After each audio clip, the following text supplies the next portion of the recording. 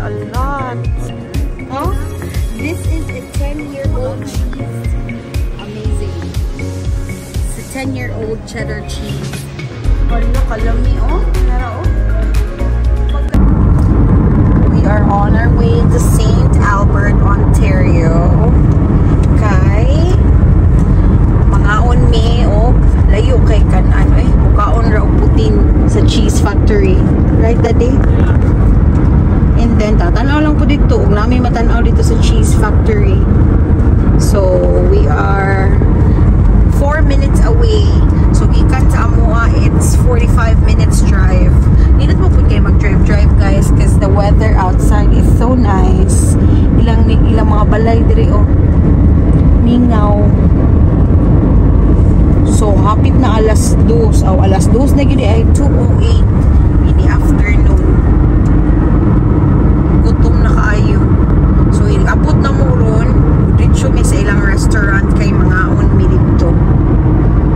St. Albert. So, abot na may hapit guys. Two minutes away and welcome.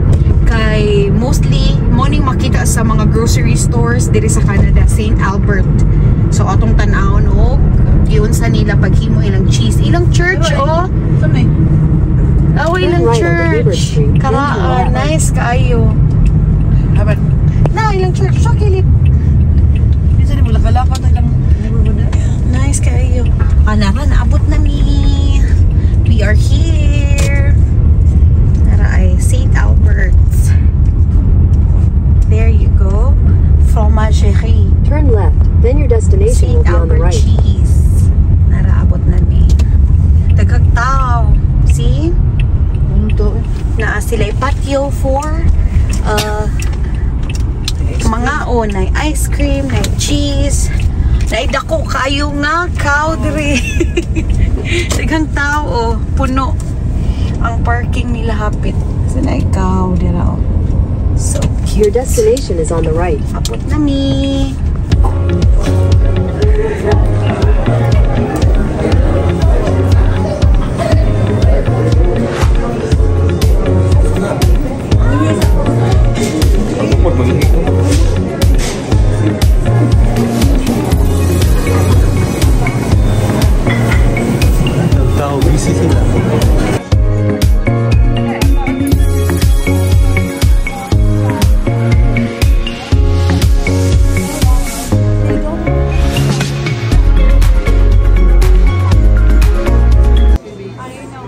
How about hot dog? How about hot dog, baby? You want hot dog, Kayla?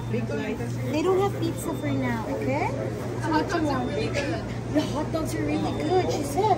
Is that okay? Okay, don't cry. Why are you crying? Okay, wala we pizza? still have pizza at home. Remember the last There's no night? pizza? No leftover? Okay, so I'll just get a hot dog. hot dog. Yeah. Does she want fries with that? Yes, please. French fries too, baby? Okay. French fries. And ketchup? No, no ketchup. Just plain. Um, and so this is getting the chocolate. You grab it yourself. There you go. Wow. You put the, the chocolate milk here so the boo-boo will be gone like that. Do it like that. Like Ikaw, kuya. that. What Ikaw, you kuya, want? what you want? We still have two drinks. Nagpili pa unsa. Mo na lang problema ani nila ang pagpili. You want that one? Okay. Mami and daddy, soft drinks lang pala. Nga, nang kay water ha. Ah. Isa. Share ta. Okay. Bugnawa eh. Ano karagahan ko sa? Okay lang. Ano may comment siya? Ami dyan di ako dali ko na Yeah, na na nga mong food. Oh my god, that's a lot. Outside? Let's go outside, yeah. Wow. Excited na mukha o na mong driver ay. Gutom na guting tao ni si Oto na ay.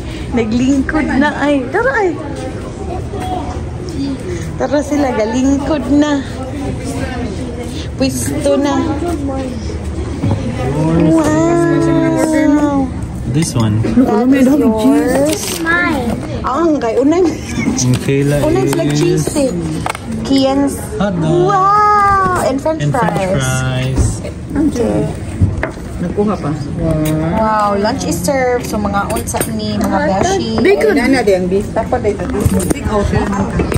Kuya and Kayla, smile. Mag-eat sa mig lunch. Um, bacon?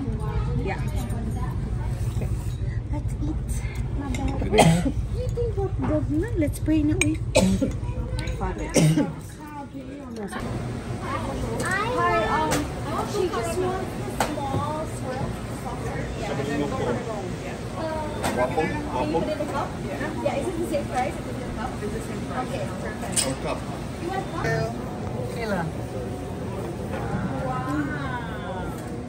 There's a big ice cream for you, Kayla. that this one is like um caramel and mocha.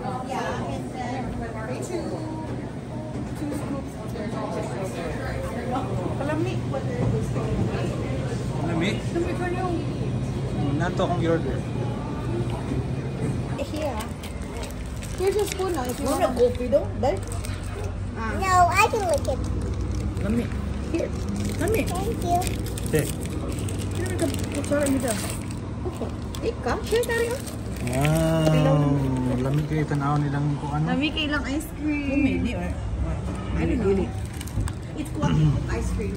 Kuwati I saw it. Quality ko. Ano yung prices silang ice cream?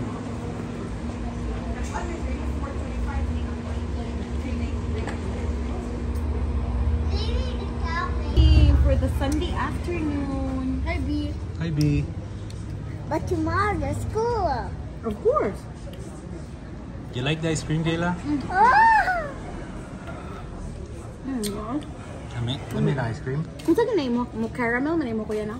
Yeah. Ano? Is it yummy, Kuya? Here comes the airplane. Mmm. Finish your ice cream? Mm, yummy. Look, they call this two scoops. Can I try? Nakuha na daan ba? See, Dad, look. They call this two scoops. I know. That's it for the part one of our Sunday trip at St. Albert, Ontario. On the next video, sa part two guys, I'm gonna show you the factory itself kay mga tuta sa observatory nila which is free for everyone to check out. So see you on the next one guys. Thank you for watching. Bye! 10 year